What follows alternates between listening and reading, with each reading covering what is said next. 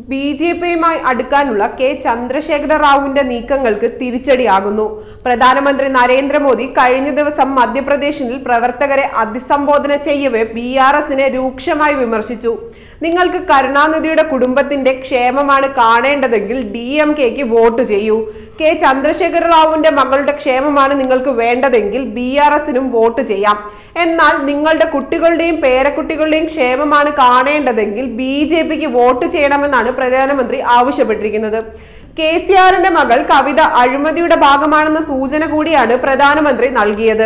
അതേസമയം ഡൽഹിയിലെ മദ്യനയ അഴിമതിയുമായി കവിതയ്ക്ക് ബന്ധമുണ്ടെന്നാണ് റിപ്പോർട്ട്. കേന്ദ്ര ഏജൻസികൾ പിടിമുറുക്കുന്ന ഘട്ടം വന്നപ്പോഴാണ് B R S B J പിക്കെതിരെയുള്ള നിലപാട് മയപ്പെടുത്തിയത്. പ്രതിപക്ഷ യോഗത്തിന് പോലും അവർ വന്നിരുന്നില്ല.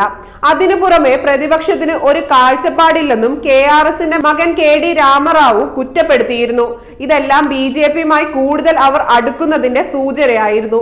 ബി ജെ പിയിൽ തന്നെ ഒരു വിഭാഗം നേതാക്കൾ പാർട്ടി നിലപാട് മയപ്പെടുത്തിയതിനാൽ അതൃപ്തിയിലായിരുന്നു. തെലങ്കാനയിൽ ബി ജെ പി മികച്ച നേട്ടമുണ്ടാക്കി കൊണ്ടുവരുന്നതിനിടയിലാണ് കേന്ദ്ര നേതൃത്വം മൃദു സമീപനം സ്വീകരിക്കുന്നതെന്ന പരാതിയും ഉണ്ടായിരുന്നു. അതേസമയം ബി ജെ പി നിലപാട് മയപ്പെടുത്തുന്നതിലൂടെ കോൺഗ്രസിന് അത് ഗുണം ചെയ്യുമെന്നും വിലയിരുത്തുന്നുണ്ടായിരുന്നു ബി ജെ പിയിൽ ചേരേണ്ടിയിരുന്ന മുപ്പത്തി അഞ്ചോളം ബി ആർ എസ് സുപ്രധാന നേതാക്കൾ കോൺഗ്രസിൽ ചേരാൻ ഒരുങ്ങുകയാണ്. ഇതെല്ലാം കെ സി ആറും ബി ജെ പി കേന്ദ്ര നേതൃത്വവും തമ്മിലുള്ള ബന്ധം കാരണമാണ് സംഭവിച്ചിരിക്കുന്നത്.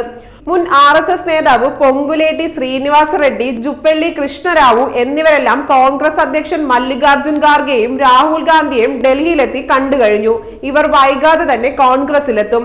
കഴിഞ്ഞ ആഴ്ച ബി ആർ എസ് രണ്ടു വർഷത്തോളം നീണ്ട കേന്ദ്ര പരിപാടികളുടെ ബഹിഷ്കരണം അവസാനിപ്പിച്ചിരുന്നു. മണിപ്പൂർ വിഷയത്തിൽ വിളിപ്പിച്ച സർവകക്ഷി യോഗത്തിൽ ബി ആർ എസ് പങ്കെടുത്തിരുന്നു. ഇതോടെ ബി ജെ പിയും ബി ആർ എസും തമ്മിൽ ധാരണയുണ്ടെന്ന ആരോപണം ശക്തമായിരുന്നു. നേരത്തെ കെ സി ആർ പ്രധാനമന്ത്രി നരേന്ദ്രമോദിയുടെ നല്ലൊരു സുഹൃത്ത് എന്നും വിശേഷിപ്പിച്ചിരുന്നു. പ്രതിപക്ഷത്തിന്റെ യോഗം പാട്നയിൽ നടക്കുന്ന സമയത്ത് കെ ടി രാമറാവു കേന്ദ്ര ആഭ്യന്തരമന്ത്രി അമിത്ഷായെ ഡൽഹിയിലെത്തി കണ്ടിരുന്നു.